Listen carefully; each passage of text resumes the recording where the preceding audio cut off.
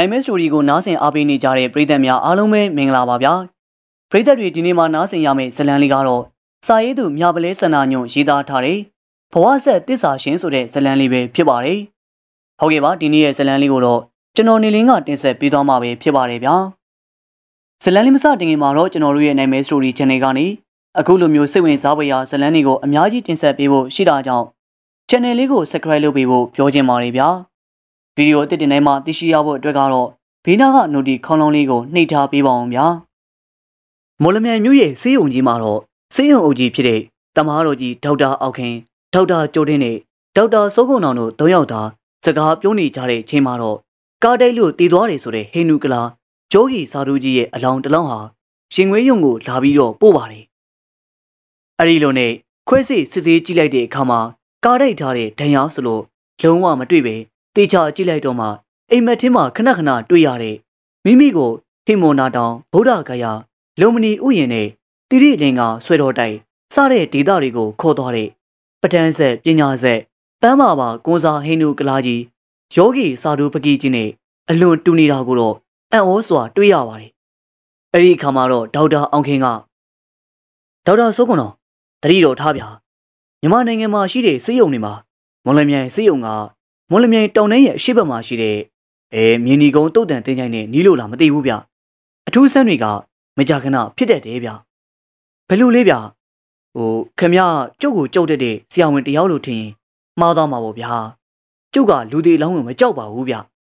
မော်လမြိုင်စေးရုံမှာဘလို့အထူးဆန်းတွေမကြခဏဖြစ်လို့လေ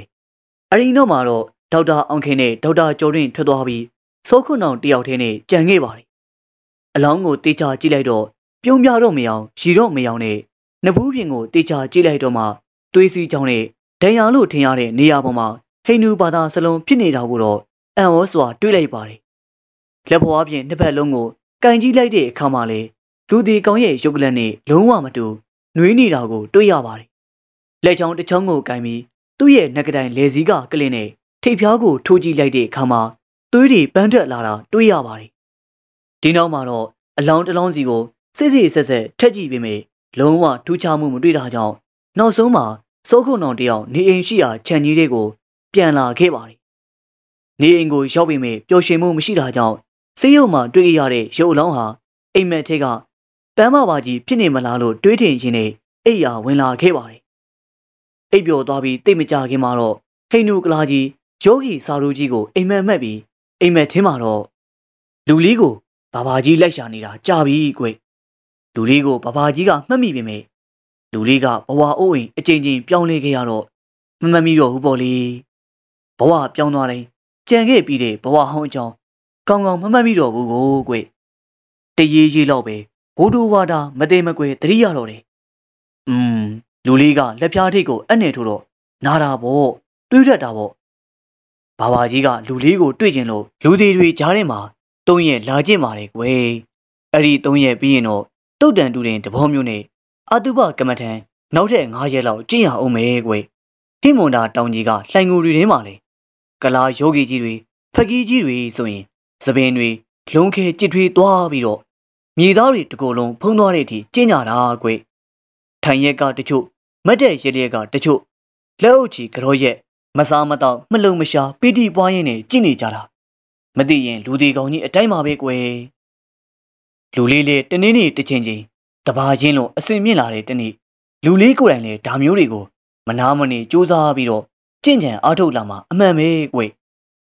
လူလေးကသာဘဘာကြီးကို အခုမမမိရင်သာနေမယ်လူလေးကိုယ်တိုင်မော်လမြိုင်ဒိုင်းဝုံမြို့ပေါ်မှာမော်လမြိုင်ဒိုင်းပန်းဝင်းမြို့ပေါ်မှာကာလီမန်ညောင်မင်းကြီးရဲ့အောက်မှာတော့ကတကြိမ်လူလေးနေတဲ့အိမ်သားကရွှေကငင်မင်းအောက်မှာတကြိမ်တကြံပြီးတော့ကလားကြောက်တလုံးပွဲတော် ကလားကြောက်တလုံးတောင်ပေါ်ကကလားဖျားရှိကိုကျောင်းမာတော့ကတကြိမ်အဲပြီးတော့ဟိန္ဒူကလားမီနင်းပွဲမှာတကြိမ်ဘလူးမကျောင်းမီကဟိန္ဒူကလားတကြံစေးနီကျောင်းတွေနဲ့ပတ်တုံးကတကြိမ်အားလုံးစုစုပေါင်းငါးချိန်တီတီဖေးချင်းကတွေ့ခဲ့တာကွဘာဘာကြီးကတော့တနေ့တရက်မှမမေ့ပါဘူးကွယ်လူလေးကိုယ်တိုင်မုံနေကိုးရာတွေဝယ်ပေးခဲ့တာရောမေ့သွားပြီလားကွအခုလူလေးစီကိုလာတွေ့တာလေ အင်မတန်အရေးကြီးတဲ့ကျင့်စဉ်တစ်ခုတွေဟိမွန်တာကိုမသွားခင်လာတွေ့တာဒီခရီးကအချိန်လနဲ့ရှိပြီးတော့လေကြာရင်ကြာလိမ့်မယ်ဘာဘာကြီးဟာလူလေးအတွက်ပညာဆက်ပဋ္ဌာန်းဆက်ဘဝဆက်တစ္ဆာရှင်ကြီးပါကွယ်အဲ့ဒါကြောင့်လဲတန်နေရာတကွေဘဝတကွေခန္ဓာဥယျာဉ်အကျဉ်းချင်းပြောင်းလဲသွားပြီမေတစ္ဆာမြစ်တာစေတနာအပြည့်နဲ့လာလာတွေ့နေရတာကွလူလေးရဲ့ခန္ဓာအိမ်ကသာအချိန်တန်ရင်ပျက်စီးသွားလိမ့်မယ် ပညာဆက်ပါရမီဆက်ကုသိုလ်ဇက်တွေကတော့အမြင်မပြတ်အဆက်မပြတ်ဘူးကွကိုကျင်တရားနဲ့တီလာကိုခါဝိပစိုးလို့မြဲနေမှာလူဖြစ်ရကြုံနှက်မှာပေါ့ကွယ်နောက်နေ့မှာတော့စောခုံနောင်တယောက်စေးရုံကြီးကိုရောက်လာနဲ့စည်ရင်စာအုပ်မှာလက်မှတ်ထိုးပြီးအလောင်းတွေရှိတဲ့ရှင်ခွဲရုံကိုတွားကြည့်လိုက်တဲ့အခါမှာတော့ညနေအချိန်တုန်းကထားခဲ့တဲ့အနေထားနဲ့လုံးဝမတူပဲယောဂီကြီးရဲ့လုံး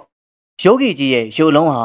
မိမနှစ်ယောက်ရဲ့အလောင်းကြားမှာမရှိတော့ပါဘူး။စာတူးကြီးရဲ့အလောင်းကအစွန်ဆုံးကိုပြောင်းနေတာတွေ့ရပြီးတာဝန်ကြောက်တွေကိုမေးလိုက်တော့ဘသူမှမရွှေ့ပါဘူး။စောခုံအောင်လေယောဂီကြီးရဲ့လက်နှစ်ဖက်စလုံးကိုကင်တွေစမ်းသက်ကြည့်လိုက်တဲ့အခါမှာပူနွေးပြီးတော့ချိုးလို့ကွေးလို့ရနေတာကိုတအံ့တော်တွေ့ရပါတယ်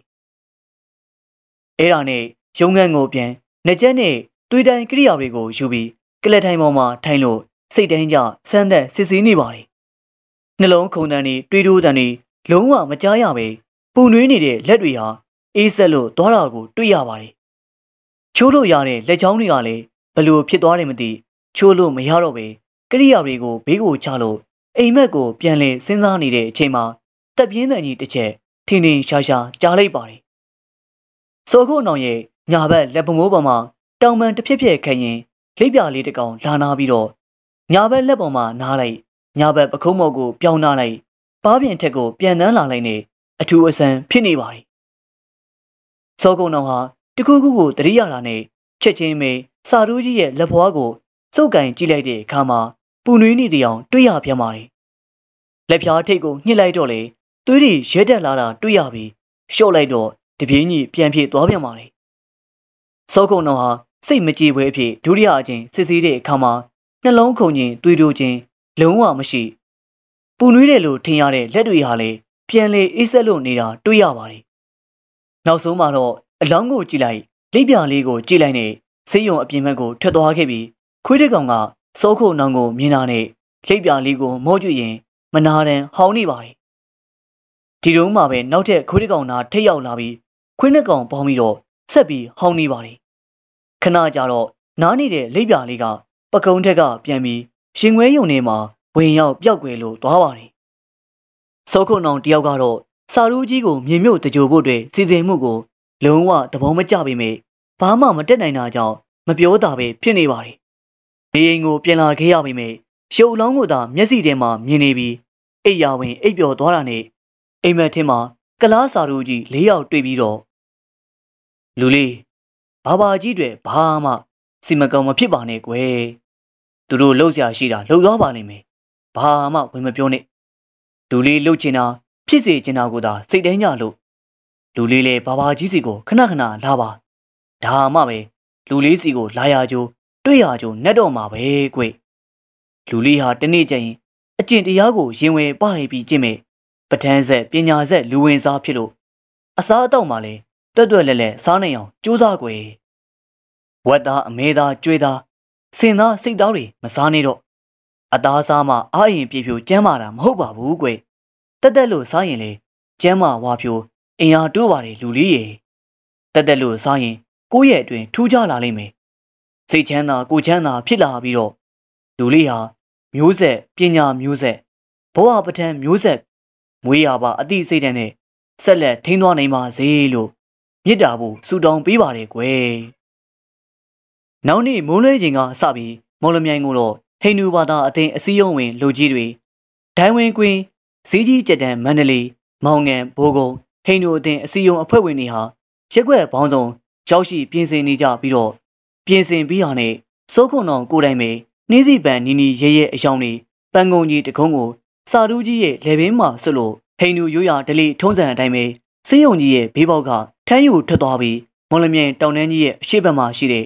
မြင်းနီကုန်းရဲ့ဟိန္ဒူတုတ်တန်ကြောင်ညောင်မင်းကြီးရဲ့အောက်မှာမြေမြုပ်တကြိုလိုက်ပါတယ်။တကြိုတာပြီးသွားလို့အားလုံးပြန်သွားကြပြီမဲ့စိုးကုံတော်တယောက်ဟာစိတ်မကောင်းခြင်းများစွာနဲ့မြေပုံဘေးမှာရက်နေပါတယ်။အမောင်လူထဲမှာတော့ခွေးဥတန်တွေထွက်ပေါ်လာပြီးခွေးနဲ့လေးတကောင်ဟာမတ်တဲ့ရက်နေတဲ့ခြေရင်းတစ်ဘေးကိုခေါင်းနဲ့တိုးဝေကပုတ်တန်နေပြီးငုံကြည့်လိုက်တော့မိမိရဲ့ကိုယ်ပေါ်ကို နောက်ချတော့နှစ်ဖက်အားပြုရင်းနဲ့တခင်ရင်းမမှာခင်တွေလို့လည်းနေပါတယ်။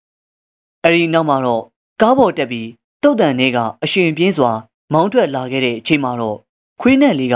ကားလေးကိုကြည့်ရင်မြေပုံဘေးမှာကြံနေခဲ့ပါတယ်။နောက်နေ့မနေ့စေယုံကိုအလုံးမစင်းမီမှာမွန်လမြိုင်မိုင်နာဈေးရဲ့ရှိဈေးကျိုဘန်းတယ်တွေစီကနိုင်ငံခြားတစ်စပန်ဗရန်များရောင်နီနီရဲရဲကိုကက်နဲ့စပယ်ပန်းကုန်းအရှိကြီးတွေနဲ့နှင်းစီပန်းနီနီရဲရဲတွေကိုဝယ်ပြီးယောဂီစာတူးကြီးရဲ့မြေပုံစီကိုထွက်လာခဲ့ပါတယ်။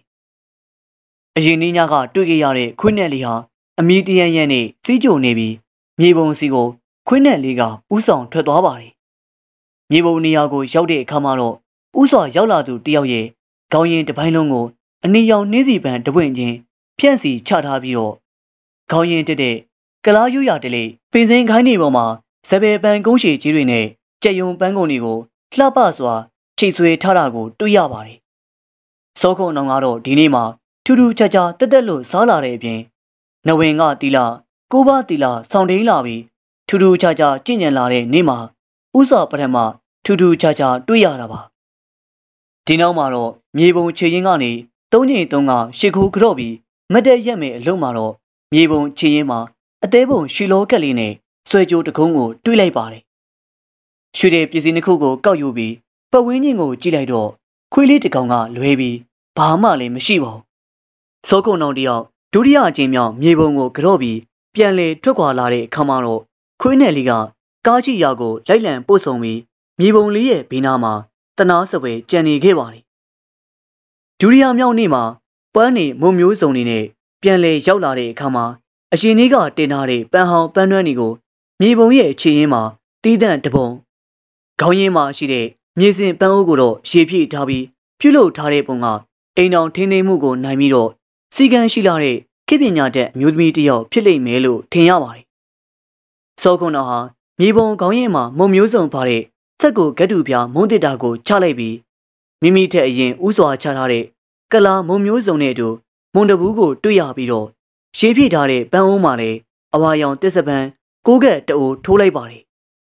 ဒီနောက်မှာတော့မြေပုံချင်းမှာထိုင်ရှိကိုကြောလိုက်ပြီးမတ်တဲ့ရက်လိုက်တဲ့အခါမှာခြေတော်နှစ်ဖက်ကြားမှာတော့ ရွှေလက်ပတ်ကျိုးအပြော့တစ်ခုပြုတ်ကျနေတာတွေ့ရပြီးဘေးဘက်ဝင်းချင်းကိုကြည့်လိုက်တော့ခွေးလေးကလွဲပြီးဘာမှမရှိပြန်ပါဘူးတတိယနေ့မှာတော့ပန်းတွေကိုးရာတွေပန်းပါပါယောဂီကလာကြီးရဲ့မြေပုံကို ပြန်လဲရောက်ရှိလာခဲ့ပြန်ပါလေအရင်နှုတ်ကတင်ထားတဲ့ပန်းဟောင်းတွေကိုမြေပုံချင်းရင်မှာတက်ရက်စွာစွန့်မြေထားတာတွေ့ရပြီးတော့ခေါင်းရင်းမှာရှိနေတဲ့ရှေးပြထားတဲ့ဘန်းအိုးမှာပန်းရောင်တစ်စပန်ကိုကတခါထိုးဆိုင်လိုက်ပြန်ပါတယ်။ အဲဒီနောက်မှာတော့မြေပုံခြေရင်းကနေရှစ်ကိုကြောလိုက်ပြီးမတ်တက်ရက်လိုက်တော့မိမတယောက်ရဲ့စင်ကြယ်သီးတစ်လုံးပြုတ်ကျကျန်းနေတာတွေ့ရပြီးစိုးခုနောက်တယောက်ကျေသီးကိုယူလို့တုတ်တန်တွေကပြန်လာခဲ့ပါတယ်။စတုထာနေ့မှာအိယာကစောစောထဈေးသည်တွေစီကနေတစ်စပန်းအဖြူရောင်နဲ့အဖြူရောင်နှင်းစီပန်းတွေစပယ်ပန်းတွေနဲ့ကြက်ယုံပန်းတွေပြင်အလိုရှိရာတွေကိုဝယ်ယူပြီးတော့ထွက်လာခဲ့ပြန်ပါတယ်။ဒီတစ်ခါမှာတော့ ကားကိုထားနေကြနေရာမှာမဟုတ်ပဲနေရာရွှေ့ပြောင်းရက်လိုက်ပြီးတော့ငွေနှင်းမုံကြီးရဲ့ဂျာမှာတယောက်တည်းပြင်ဆင်ပြုတ်လုပ်ပြီးပုံးွယ်စောင့်နေလိုက်ပါတယ်။မကြခင်မှာတော့ပန်းတွေဝယ်ယူပြီးတိုက်တိုက်ဆိုင်ဆိုင်ပဲပိုးသားပြော့ပြော့အဖြူရောင်ဝတ်ထားတဲ့ဇာရီဝိယုံဝတ်ထားတဲ့ဟိန္ဒူအမျိုးသမီးချောချောလှလှတွေ့တွေ့လျက်လာလေးကိုမြင်ရသူငေးလောက်အောင်မနှောနှစ်သမီးအသွင်နဲ့စောခုံအောင်မြင်လိုက်ပါတယ်မြင်မြင်ချင်းမှာချစ်သွေးတွေဖုံးသွားပြီးတော့ပုံးွယ်နေရက ပြုံပြုံကြီးကြည်နေမိပါတယ်တေချာကြည့်လိုက်တော့မှပန်းမဝါကြီးနဲ့တခါတလေပါလာတတ်တဲ့နတ်မိမေတပါဖြစ်လေမလားဆိုပြီးထင်ယောင်ထင်မှားလေဖြစ်မိပါတယ်ဟိန္ဒူမာလေးဟာမိမိတဲ့အရင်ဥစွာရောက်လာသူကိုတအံ့တော်ဖြစ်ရင်းနဲ့ပန်းလေးကိုတယောက်တည်းပြင်ဆင်ချထားလိုက်ပါတယ်သူမရဲ့ဘေးမှာတော့အရက်ထုံထုံမောင်းမောင်းနဲ့တက်ရဲဖြက်ရဲတဲ့ထင်ရတဲ့ဟိန္ဒူကလာတက်တော်ဆောင်နှစ်ယောက်ကိုလက်နှစ်ဖက်ပိုက်ရင်စောင့်ကြည့်နေတာတွေ့ရပြီးတော့ ကိစ္စအဝဝပြီးသွားတဲ့အခါမှာမြေပုံချေရင်မှထိုင်ပြီးတော့ကြော့နေပါတယ်ကြော့ပြီးတော့မတက်ရက်လိုက်တာနဲ့အဖြူရောင်အင်ကြီးအဖြူရောင်ဘောင်းမီရင်အဖြူရောင်ဖက်နဲ့စီးထားတဲ့ဒေါက်တာစွန်းတော်ဟာပုံးငွေထားရကတလန်းချင်းသူမအစီကိုရှောက်သွားလိုက်ပါတယ်စိုးကုန်းအောင်ရှောက်လာတဲ့အတန်ကိုကြားတဲ့အခါမှာတော့တတက်တော်ဆောင်နှစ်ယောက်ကလုံးဝလှည့်မကြည့်ပဲသူတို့စီကပြောင်လဲတောက်ပနေတဲ့ဓာနဲ့လက်စလုံးတအိမ်လေးကအပြင်ကိုရောက်ရှိလာပါတယ်။ စောကုံအောင်လေလုံးဝကြောက်ရွံ့ခြင်းမရှိအင်ဒရီမပြတ်ပဲသူမအစီကိုရှောက်လန်းသွားပြီးတော့အသေးပုံရွှေရောင်လောက်ကရွှေဆွဲကြိုးတကုံရွှေလက်ပတ်ကြိုးအပြော့စိန်ကျေဒီတလုံးကိုနတ်မိမယ်လေးကိုပေးလိုက်တဲ့အခါမှာတော့လေတိုးတန်တစ်ချက်ကြားလဲရပြီးတကောက်ကြီးကစိုးခုနောင်လှမ်းပေးလိုက်တဲ့ညာဘက်လက်ကိုခုတ်ချလိုက်ပါတယ်မြမရိုးရတိုင်းတက်ထားတဲ့စိုးခုနောင်ဟာလေအလင်းလိုစက္ကနေလက်ကိုတင်လိုက်ပြီးညာဘက်ခြေထောက်နဲ့ခုတ်တဲ့သူရဲ့မေးရိုးကို ကန်ပစ်လိုက်တဲ့အခါမှာတော့ဓားကင်လက်ဟာရိမ့်ရိုင်ပြီးတစ်ချက်မူးဝေလိုသွားပါတယ်ကျေးဇူးတင်ပါတယ်အကိုစောခွန်နော်ဘယ်တော့မှသိရလဲအကူကဘာမှမသိပါလားလူမနေပြီထင်တယ်နော်အကိုစောခွန်နော်ဟာဘဝအိုးရင်အချိန်ချင်းပြောင်းလဲခဲ့ရလို့မမတ်မိတော့ဘူးထင်ပါရဲ့ညီမလေးသစ္စာဝရီဒေဝီကတော့အိမ်မက်ထဲမှာပန်းပါပါဟိန္ဒူကလာယောဂီစာဒူးကြီးနဲ့အိမ်မက်မက်နေရကအကိုစောခွန်နော်ကို ကောင်းကောင်းတွေ့ဘူးမြင်ဘူးနေပါတယ်ရှင်အကူကအိမ်မက်ထင်းမှာပဲကြီးကြီးတော့မှတ်မိပါတယ်ထူးဆန်းလိုက်တာနော်အပြင်မှာအခုမှပဲမြင်မှုတွေ့ဘူးတော့တယ်ညီမလေးရဲ့အကိုနောင်ကညီမလေးနဲ့ပပကြီးကိုမမတ်မိလို့တာပါမော်လမြိုင်ထိုင်ဝန်ကွေးမြို့ပေါဝကာလီမဲညောင်မင်းကြီးအောက်မှာတော့တစ်ချိန်ရွှေကညင်မင်းကြီးအောက်မှာတစ်ချိန်ကလားကြောက်တလုံးပွဲတော်တုန်းကတစ်ချိန်ဟိန္ဒူကလားမင်းင်းပွဲတုန်းကတစ်ချိန်ဘိုကုန်းဘလူးမအကြောင်းမေးဟိန္ဒူကလားတကြံပွဲတုန်းကတစ်ချိန် စုစုပေါင်း၅ချိန်တိတိဘေးချင်းကတွေ့ခဲ့ဆုံခဲ့ပူပါတယ်အကူနောင်အကူနောင်လိုက်ရှာနေရကြပြီပဲအခုမှအနီးကပ်တွေ့ရတော့တယ်ညီမလေးကအကူနောက်ဘာအတွက်လိုက်ရှာနေရလဲခတ်ပါလားအကူနောင်ရေအကူနောင်အတွက်ပညာဆက်ပဋ္ဌာန်းဆက်ဘဝဆက်သစ္စာရှင်လေးဖြစ်ပါတယ်ဒါကြောင့်သာတန်တရာတကွေခန္ဓာဥယျာဉ်အချင်းချင်းပြောင်းသွားပြီမေသစ္စာမြစ်တာစေရနာအပြည့်ဝနဲ့မတွေ့တွေ့အောင်လိုက်ရှာနေရတာအခုမှတွေ့ရတော့တယ်အိမ်မက်ထဲမှာ ညီမလေးရဲ့ပညာဆက်ပဋ္ဌာန်းဆက်ဘဝဆက်သစ္စာရှင်ကြီးဖြစ်ခဲ့တဲ့ပန်းပပါကြီးဟိန္ဒူကလာယောဂီစာရူကြီးကမြန်မာနိုင်ငံမော်လမြိုင်မြို့ကိုရောက်နေကြောင်းအိမ်မက်ထဲမှာမက်ယာကအိန္ဒိယနိုင်ငံကနေဒီကိုမရောက်ရောက်အောင်လာပြီးလိုက်လံရှောက်ဖွေရေးမော်လမြိုင်မြို့ကိုရောက်လာရပါတယ်အကူနောင်။အော်အင်မတန်ထူးဆန်းစရာပဲနော်။မဖြစ်နိုင်တာတကယ်ကိုမဖြစ်နိုင်တာပဲကွာအကူနောင်လောကမှာမဖြစ်နိုင်တာမရှိဘူး မဖြစ်သေးတာပဲရှိတယ်အကူနောင်မြန်မာနိုင်ငံကိုရောက်နေမှန်းသိလို့မြန်မာလေးဘွဲရမြန်မာလေးဆရာဝန်ဘွဲရပြီးတာနဲ့အိန္ဒိယနိုင်ငံမှာပဲမြန်မာစာပေနဲ့မြန်မာစကားကိုတက်အောင်သင်ပြီးလိုက်ဆိုင်ရင်ပန်းပပါကြီးရဲ့ကျေးဇူးကြောင့်မော်လမြိုင်မြို့တောင်တန်းရဲ့အရှိတ်ဘက်မှာရှိတဲ့မြင်းဒီကုန်းတုတ်တန်တင်းချိုင်းထဲမှာအခုမနေ့မှလာတွေ့ရခြင်းဖြစ်ပါတယ်။အခုညီမလေးကမွန်းလမြိုင်ဘေးမှာတင်းနေရလဲ။အိန္ဒိယနိုင်ငံမှာရောဘယ်မှာနေရလဲ ညီမလေးအခုမော်လမြိုင်အောက်လမ်းမကြီးဘိုးချုပ်လမ်းမကြီးနန်းတော်ရုံရုပ်ရှင်ရုံနာကဆရာဝန်ကြီးဒေါက်တာစွန်တရွန်းတိုက်မှာတဲပါတယ်မိဘတွေကတော့ပြည်နေစော်ပွားတွေပါအကူနောင်။ဒါဆိုညီမလေးတွေအကူနောင်ဘာလုပ်ပြရမလဲ။ဘာတွေဖြစ်ကျင်သိကျင်လုပ်ကျင်လဲ။အဲ့ဒါအရေးကြီးဆုံးပဲလေညီမလေးသစ္စာဒေဝီဟာဒီတင်းချိုင်းကိုလာရင်ကိုဖူးစာဘက်အစ်စ်မှန်ပညာဆက်ပဋ္ဌာန်းဆက်ဘဝဆက်သစ္စာရှင်ဖူးစာဘက်ကိုတွေ့မယ်လို့အိမ်မက်ချင်းမှာ ပန်းပပါကြီးကအိမ်မက်ပေးပါတယ်ပထမနေ့ကစာတိအနေရဲရဲရောင်အပေါ်အောင်ဝစ်လာတော့ကအကူနောင်သစ္စာပန်းရောနှင်းစီပန်းမှာအနီရဲရဲရောင်တင်ပါတယ်ဒုတိယနေ့စာရီအဝါရောင်အပေါ်အောင်ဝစ်လာတော့အကူနောင်သစ္စာပန်းရောနှင်းစီပန်းမှာအဝါရောင်တင်ပါတယ်တတိယနေ့စာရီကပန်းရောင်ပေါ်အောင်ဝစ်လာတော့သစ္စာပန်းရောနှင်းစီပန်းမှာပန်းရောင်တင်ပါတယ်ဒီနေ့စတုတ္ထနေ့မှာစာရီအဖြူရောင်အပေါ်အောင်ဝစ်လာတော့ အကူနောင်ကသစ္စာပန်းရောနှင်းစီပန်းမှာအဖြူရောင်တင်ပါတယ်ဒီလေးရဲ့စလုံးကန့်ညီကလေးကဒီယောက်ျားကောင်းဟာမြမလေးသစ္စာဝရီဒေဝီရဲ့ဘဝဖူးစာဘက်ကျင်ရလောင်းခင်မိုးလောင်းဖြစ်ပြီဆိုတာသိရပါတယ်။နောက်ကျင်ရလောင်းခင်မိုးလောင်းအတွက်ပေးမဲ့ပစ္စည်းရွှေ